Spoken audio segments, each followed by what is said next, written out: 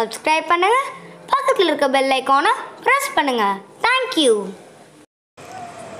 வணக்கம். ஸ்லாம் அலைக்கும் சௌத்ரம் நீங்கள் பார்த்துருக்குது டெக்னிக்கல் கோபிஜி ஸோ புதுசாக பார்க்குறவங்க சப்ஸ்கிரைப் பண்ணுங்கள் ஷேர் பண்ணுங்கள் லைக் பண்ணுங்கள் ஸோ இந்த சேனலுக்கு வந்து சப்போர்ட் பண்ணுங்கள் மெயினாக இப்போ நீங்கள் பார்த்துட்டு இருக்கிறது வந்து எல்ஜி ஸ்ப்ளிட் யூனிட் வந்து ஒன் பாயிண்ட் ஃபைவ் இது என்ன ப்ராப்ளத்துக்காக உங்களுக்கு இந்த ஃபோட்டோஸ் பார்த்துட்ருக்கீங்கன்னா அலுமினியம் காயிலேருந்து காப்பர் காயில் மாற்றிருக்காங்க ஸோ காப்பர் காயில் மாற்றி ஒரு சிக்ஸ் மந்த்க்குள்ளே உங்களுக்கு வந்து கேஸ் லீக் ஆகிடுச்சு அது எப்படின்றத நான் உங்களுக்கு எக்ஸ்பிளைன் பண்ணுறேன் வீடியோவை பாருங்கள் உங்களுக்கு அப்போ தான் புரியும். ஸ்கிப் பண்ணாமல் பாருங்கள் இப்போ கேஜஸ் ஃபுட் பார்க்கலாம்.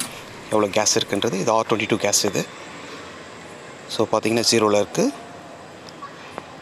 ஸோ கேஸ் வந்து சுத்தமாக இல்லை. பார்த்திங்கன்னா ஜீரோவில் இருக்குது வாங்க கழட்டிட்டு மேல் பேனல் கழட்டி பார்க்கலாம். இதுதான் வந்து அலுமினியம் காயில் இது. காப்பர் காயிலாக மாற்றிருக்காங்க ஸோ இது ஏன் லீக் வந்திருக்குன்றது உங்களுக்கு நான் இப்போ பா காட்டுறேன் பாருங்கள் இப்போ பாருங்கள் கேஸ் இல்லாமல் ஓடினதுனால கம்ப்ரஸர் வந்து ஃபுல்லாக ஓயில் பிளேட் ட்ரிப்பாக இருந்தது பாருங்கள் மேலே தண்ணி ஊற்றுன போது ஃபுல்லாக செம ஹீட்டாக இருக்குது ஸோ அது தண்ணி பாருங்கள் அவ்வளோ ஃபுல்லாக வந்து எவாப்ரேட் ஆகிடுது அவ்வளோ ஹீட்டில் இருக்குது கம்ப்ரஸர் இது மாதிரி ஓட்டுறதுனால மோஸ்ட்லி வந்து கம்ப்ரஸர் வந்து ஃபுல் அண்ட் ஃபுல்லாக வந்து உள்ளே இருக்க ஆயில் வந்து ஃபுல்லாகவே ப்ராப்ளம் வந்து மேலே இருக்க சிஎஸ்ஆர் வந்து ப்ராப்ளம் ஆகிடும் பாருங்கள் இந்த இடத்துல தான் வந்து கேஸ் லீக் ஆகிருக்கு இதுதான் வந்து கம்ப்ரஸர்லேருந்து போகிற மெயின் டிச்சார்ஜ் பைப்பினுடைய கண்டென்சர் கனெக்டிங் வந்து பைப் இது. இது பாருங்கள் ஆயில் ட்ரேசிங் ஸோ ஆயில் வந்து வெளியே கேஸ் வித் ஆயிலோட வெளியே வந்திருக்கிறதுனால நம்மளுக்கு அந்த ஃபங்கஸ் நல்லா தெரியுது பாருங்கள் இது வந்து ப்ராப்பராக ஸ்க்ரூ பண்ணாதனால தான் இந்த மாதிரி வந்து வைப்ரேஷனில் போயிருக்கு. ஸோ பாருங்க ஒயர் டையில் கட்டியிருக்காங்க. ஸோ இது வந்து இந்த ஒயர் டை வந்து ஹீட் ஆகி டேமேஜ் ஆகிருக்கிறதுனால ஒயர் டைனுடைய கிரிப்னஸ் இல்லாதனால வைப்ரேஷன் கம்ப்ரஸர் வந்து ஃபுல் அண்ட் ஃபுல் டிச்சார்ஜ் பைப்புன்றதுனால உங்களுக்கு வந்து அந்த இடத்துல வந்து லீக் வந்திருக்கு. ஸோ பாருங்கள் இது வந்து கண்டென்சர் வந்து ஃபுல்லாக வந்து ஸ்க்ரூ பண்ணியிருக்கணும். இப்போ தான் நீங்கள் அதை பார்க்க போகிறீங்க எப்படி ஸ்க்ரூ பண்ண ஸ்க்ரூ பண்ணியிருக்குன்ட்டு. இந்த மவுண்டிங் பாருங்கள் சாதாரணமாக கை தொட்டும் போது ஆடு ஆடுது. ஸோ அது ரன்னிங்கில் இருக்கும்போது எந்த அளவுக்கு வைப்ரேஷன் வருன்றது உங்களுக்கு வாங்க இப்போ வந்து நம்ம பண்ணி அவுடோர் யூனிட் தனியாக பிரிச்சிடலாம் இது ஆஃப் இன்ச் பைப் இது. கீழே quarter pipe copper pipe so இப்போ நம்ம ஒயர் வந்து ரிமூவ் பண்ணிடலாம். ஃபேஸ் எடுத்து நியூட்ரல் எல்லாமே பண்ணிவிட்டு பாருங்கள் இதுக்கு பின்னாடி பேஸில் இருக்கிறது. எவ்வளோ டஸ்ட்டாக இருக்கு பாருங்கள் ஸோ மோஸ்ட்லி அதுக்கு தான் வந்து அவுடோர் ஸ்டாண்ட் வந்து மோஸ்ட்லி ஃபிக்ஸ் பண்ணும்பொழுது உங்களுக்கு வந்து கீழே இருக்க பேஸ் வந்து போகாது. இப்போ பாருங்கள் நம்ம வந்து எந்த இடத்துல லீக்குன்றது உங்களுக்கு நான் காட்டுறதுக்காக அது டிச்சார்ஜ் வந்து க்ளோஸ் பண்ணிட்டோம். செக்ஷன் க்ளோஸ் பண்ண வேண்டாம். அதுக்கு ஒரு டம்மி போட்டுடலாம். இப்போ டம்மி போட்டுட்டோம் அப்படின்னா அப்போ தான் கேஸ் வந்து கம்ப்ரஸருக்கு செக்ஷன் வழியாக போகும். ஸோ இப்போதைக்கு நம்மகிட்ட ஹாட் டுவெண்ட்டி டூ கேஸ் இருக்குது அதையே நம்ம கொஞ்சம் ஒரு ஃபார்ட்டி டூ ஹண்ட்ரட் பிஎஸ்சி வச்சுனாலே தெரிஞ்சுக்கிறது எங்கே லீக்குன்றது பாருங்கள் சோப் ஆயில் விடுறோம். ஸோ எந்த இடத்துல லீக்குன்றது உங்களுக்கு வந்து அதை பாருங்கள் உங்களுக்கு ஃபுல்லாக உள்ள ஹண்ட்ரட் பிஎஸ்சிக்கே உங்களுக்கு வந்து எந்த இடத்துல லீக்குன்றது அந்த ஃபுல் அண்ட் ஃபுல்லு ஃபாக் வருது பாருங்கள் ஸோ இதுதான் வந்து டிச்சார்ஜ் பைப்பு கண்டென்சரில் வந்து ஃபஸ்ட் கனெக்ட் ஆகிற பைப்பினுடைய த்ரீ எயிட் பைப் இது. ஸோ திருப்பியும் அதை எந்த இடத்துல நான் க்யூரியஸாக செக் பண்ணிக்கலாம்.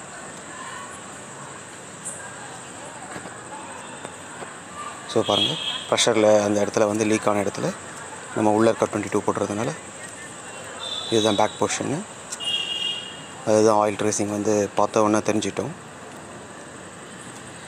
ஸோ ஆயில் அண்ட் கேஸ் வந்து ரன்னிங்கில் இருக்கும்பொழுது அது ஃபுல்லாகவே வெளியில் ஃபங்கஸ் தெரிஞ்சிடும் இந்த பேஸ்கில் கீழே இருக்கிற டஸ்ட் இது ஹெவியாக இருக்குது ஸோ அந்த பின்னாடி இருக்க காடு காட் கைட்டியாச்சு ஸோ இதுதான் வந்து இப்போது அலுமினியம் கா காயில் இருந்தது. இப்போ காப்பர் காயில் பார்த்துட்ருக்கீங்க லெஃப்ட் சைடில் தான் லீக் ஆன அந்த ஃபங்கஸ் ஆயில் ஃபங்கஸ் தெரியுது. ஸோ இதை வந்து பா வந்து ஸ்க்ரூ பண்ணாதனால ஸோ இந்த இடத்துல ஃபுல் அண்ட் ஃபுல் வந்து பார்த்திங்கன்னா இந்த ஆயில் வந்து கீழே வந்து தெளிச்சிருக்கு. ஸோ இந்த இடத்துல தான் வந்து இப்போ நம்ம ஸ்க்ரூ பண்ண போகிறோம் பாருங்கள் அந்த இடத்துல தான் ஸோ முதல்ல பே முதல்ல அவுடோரில் இருக்கிற ஸ்க்ரூஸ் கட்டிடலாம் ஸோ இந்த பாட்டம்லாம் கட்டினா தான் நம்ம ஸ்க்ரூ பண்ண முடியும். அதேமாதிரி வெல்ட் பண்ண முடியும். ஸோ கண்டென்சர் மூணு இடத்துல பண்ண போகிறோம் ஃபஸ்ட்டும்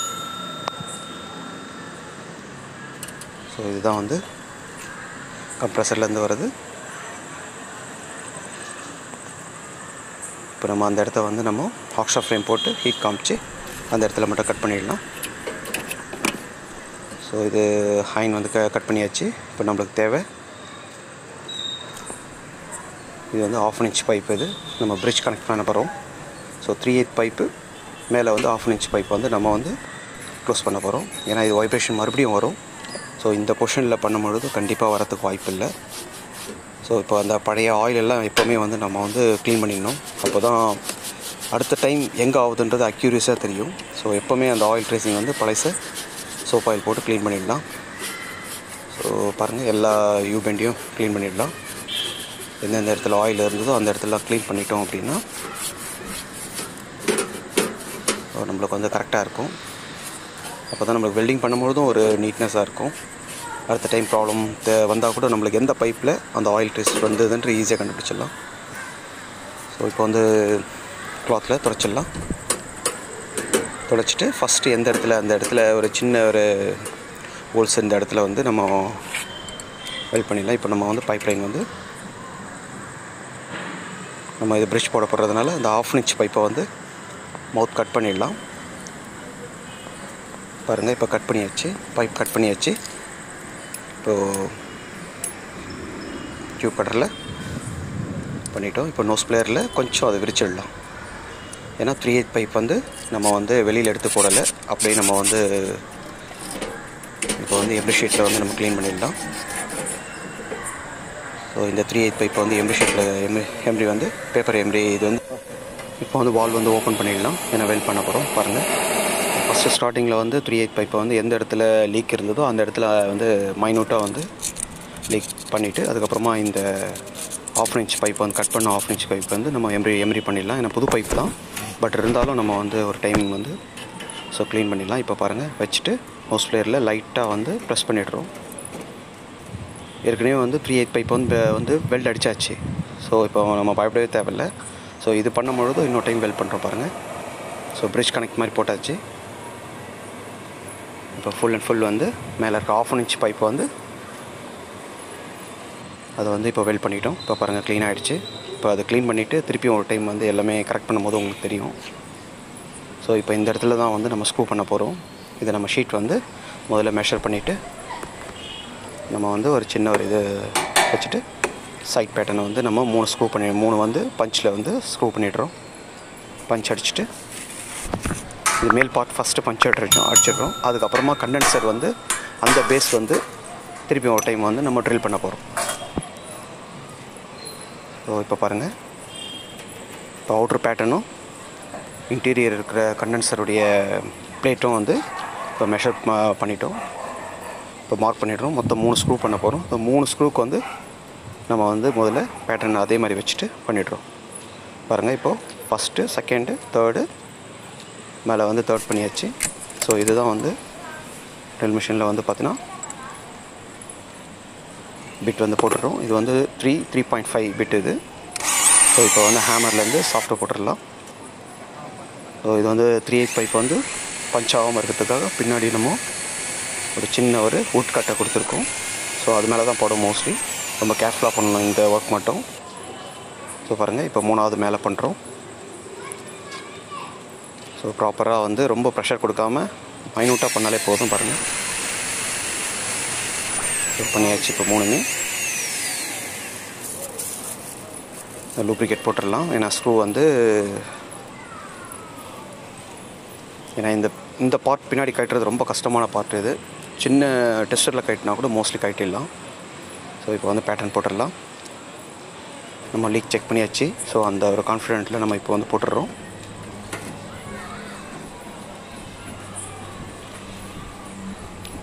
ஓ ஸ்க்ரூ பண்ணியாச்சு. ஃபுல்லாக மூணும் பக்காவாக ஸ்க்ரூ பண்ணியாச்சு. இப்போ நீங்கள் பார்த்துட்ருக்கிறது வந்து LG compressor made in China இது வந்து two thou twenty eight January two thousand எயிட்டில் வந்து மேனுஃபேக்சரிங் பண்ணியிருக்காங்க இது சைடில் பார்த்தீங்கன்னா அந்த கோடிங் ஸ்டிக்கர்லேயே போட்டிருப்பாங்க. QV two two nine five PBA R twenty two gas இது. பாருங்கள் சைனா ஃபுல்லாக மேனுஃபேக்சரிங்கில் பாதி ஏசி யூனிட்டில் பாதி பார்த்தீங்கன்னா சைனா தான் மேனுஃபேக்சர் பண்ணுறாங்க டூ தௌசண்ட் எயிட்லேயே வந்து நம்மளுக்கு ஃப்ளட்ஜாக தான் இருந்திருக்கு எல்ஜி கிட்ட கனெக்டிங்கில் இருந்திருக்காங்க. பாருங்கள் இப்போ நம்ம வந்து வேக்கம் போட்டுடலாம். இப்போ வந்து லைட்டாக கேஸ் விட்டுட்டு வேக்கம் போட்டாச்சு இப்போது வேக்கம் போட்டுட்டு உள்ளே இப்போது கேஸ் வந்து நம்ம ஒரு ஹண்ட்ரட் பிஎஸ்சி வச்சுட்டு லீக் செக் பண்ணிக்கலாம். ஸோ நாங்கள் வேக்கம் பம்ப் வந்து எடுத்து வந்திருக்கோம். ஸோ அது நான் வேக்கம் போட்டுட்டு பிறகு தான் கேஸ் ஏற்றுறேன் அவுட்டோருக்கும் தனியாக வேக்கம் போட்டுட்டு பாருங்கள் இப்போது இப்போ க்ளோஸ் பண்ணிடலாம். க்ளோஸ் பண்ணிவிட்டு அந்த டம்மியெல்லாம் கட்டிட்டு இப்போ கனெக்ட் பண்ணலாம் பைப்போட ஸோ இப்போ அந்த டம்மி கட்டு கட்டிடலாம் இப்போ வந்து கேஸ் வந்து உள்ளே போட்டு லாக் பண்ணியாச்சு. இப்போ தைரியமாக கட்டிட்டு இப்போ வந்து காப்பர் பைப் வந்து ஆஃப் இன்ச் கோட்டர் வந்து அதை க்ளீன் பண்ணிவிட்டு பாருங்கள் அந்த இடத்துல தான் நம்ம வைக்க போகிறோம் ஸோ பழைய இருந்த அந்த டஸ்ட்டெல்லாம் ஒதுக்கிட்டு இப்போ அவுட்டோர் வாஷ் பண்ணுவோம். அதுக்கு முன்னாடி வந்து கீழே வந்து வைப்ரேஷன் ஆகாமல் இருக்கிறதுக்காக இது வந்து ரப்பர் பேட் இது. மோஸ்ட்லி கீழே வைக்கும்போது இந்த ரப்பர் பேட் நாலுமே வந்து two years three years once மாற்றினா தான் அந்த அந்த ஒரு வைப்ரேஷன் இருக்காது. மோஸ்ட்லி அதுக்கு தான் ஸ்டாண்ட் அடிக்கணுன்ற சொல்லுவோம் நாங்கள் ஸ்டாண்ட் அடிச்சுன்னா அது வந்து கம்பல்சரியாக கரெக்டாக இருக்கும். இப்போ டஃப்லான் வந்து நான் எப்போவுமே யூஸ் பண்ணுவோம். டஃப்லான் யூஸ் பண்ணுவோம். ஆஃப் இன்ச்சுக்கு டஃப்லான் போட்டுருவோம் கோட்டருக்கு டஃப்லான் போட்டுட்டு ஆஃப் இன்ச்சு காப்பர் பைப் வந்து நம்ம வந்து இப்போது டைட் பண்ணிடலாம். ஸோ அதே மாதிரி ப்ராம்ப்டாக டைட் பண்ணிவிட்டு இப்போ இதுக்கு நம்ம வந்து வேக்கம் போடுறதுக்கு ரெடி ஆகிட்டோம் ஸோ பாருங்கள் அது வேக்கம் அது இப்போ கம்ப்ரஸர் எடுத்துன்னு வந்திருக்கோம். லாங்கில் வந்ததுனால கம்ப்ரஸர் எடுத்துன்னு வந்திருக்கோம். ப்ரெஷருக்கும் அதுக்கும் சேர்த்து. ஸோ வேக்கம் போட்டாச்சு. போட்டுட்டு இப்போ கேஸ் வந்து ஆர் டுவெண்ட்டி டூ கேஸ் வந்து சார்ஜ் பண்ணுறோம் ஸோ அதுக்கு முன்னாடி நம்ம அவுடோர் வாஷ் பண்ணிடலாம். ஸோ எவ்வளோ டஸ்ட் இருக்கு பாருங்கள் இப்போ வந்து பாருங்கள் ஸ்க்ரூவும் பண்ணியிருக்கோம். அந்த ஒயர் வந்து அந்த கம்ப்ரஷனுடைய டிஸ்சார்ஜ் பைப் மேலே படாத அளவுக்கு. ஸோ ஒயர் டை வந்து பண்ணிட்டோம். அதே மாதிரி லெஃப்ட் சைட்லேயும் ஒயர் டை பண்ணி பண்ணியிருக்கோம் பாருங்கள் ஸோ அந்த பைப் மேலே படக்கூடாது அந்த ஃபேன் மோட்டருடைய ஒயரு ஸோ அதனால தான் ஒயர் டை மட்டும் பண்ணியிருக்கோம். மற்றபடி எல்லாமே ஸ்க்ரூ பண்ணியிருக்கோம். பின்னாடி நம்ம பக்காவாக ஸ்க்ரூ பண்ணியிருக்கோம். ஸோ இந்த சைடும் கண்டென்சர் ஆடாத மாதிரி ஸ்க்ரூ பண்ணிவிட்டு ஆல்ரெடி இதில் ஸ்க்ரூ பண்ணியிருக்காங்க. ஸோ இப்போ பாருங்கள் இப்போ அவுடோர் ஓட ஆரம்பிச்சிடுச்சு இப்போ நம்ம ஏற்றின அந்த ஹண்ட்ரட் பிஎஸ்சி வந்து இப்போ ஒரு ஃபைவ்லேருந்து டென் பிஎஸ்சி இருக்கும். இப்போ கேஸ் ஃபில் பண்ணுறோம் இப்போ கேஸ் ஃபில் பண்ணுறதுக்கு முன்னாடி பாருங்கள் ஐஸ் ஃபார்முலேஷன் இருக்கும். ஸோ ஸ்டார்டிங் ஸ்டேஜ் இது. கேஸ் வந்து நம்ம வந்து ஃபில் பண்ணுறோம் பாருங்கள் கரைஞ்சிடுச்சு. அது வந்து மெல்ட் ஆகி மெல்ட் பாருங்கள் இப்போ வந்து கேஸ் வந்து thirty five to forty PSI இருக்கிறதுனால ஐஸ் ஃபார்முலேஷன் இருக்காது. ஸோ இந்த மேலே இருக்கிற இன்சுலேஷனும் பக்காவாக ஸ்லீவ் மேலே இருக்கிற இன்சுலேஷன் பண்ணிவிடுவோம் இப்போது ஸோ கஸ்டமருக்கு இதெல்லாம் ஒரு சாட்டிஸ்ஃபேக்ஷன் நம்ம பண்ணுறதுனால இங்கே ஹண்ட்ரட் பர்சன்ட் கூலிங் வந்து டிஸ்சார்ஜ் ஆகிறது அங்கே இன்டோர் போகும் மோஸ்ட்லி பாருங்கள் இப்போது இன்ஸ்டலேஷன் பண்ணியாச்சு மேலே. ஃபுல்லாக வினைல் டைப் போட்டு ஒயிட் ரோல் போட்டு இப்போது ஃபினிஷ் பண்ணிட்டோம். ஸோ இப்போ க்ளீனாக இருக்கு பாருங்கள் அவுட்டோர் இப்போ நம்ம ஸ்க்ரூ பண்ண இடம் பாருங்கள் மொத்தம் மூணு ஸ்க்ரூ பண்ணியிருக்கோம். ஸோ இப்போது வந்து அந்த வைப்ரேஷன் இருக்கிறதுக்கு வாய்ப்பே இல்லை இப்போ க்ளீனாக ஓடிட்டுருக்கு. இதுதான் இண்டோரு ஒன் பாயிண்ட் ஃபைவ் இது. LSA five SP three M model இது. ஸோ இது உங்களுக்கு பிடிச்சிருக்குன்னு நினைக்கிறேன். நீங்கள் டெக்னிக்கல் கோபிஜி வந்து சப்போர்ட் பண்ணுங்கள் புதுசாக பார்க்குறவங்க மெயினாக வந்து சப்ஸ்கிரைப் பண்ணுங்கள் நீங்கள் சப்ஸ்கிரைப் பண்ணும்போது தான் எனக்கு வந்து ரொம்ப என்கரேஜ்மெண்ட்டாக இருக்கும். ஸோ ஷேர் பண்ணுங்கள் thank you all of you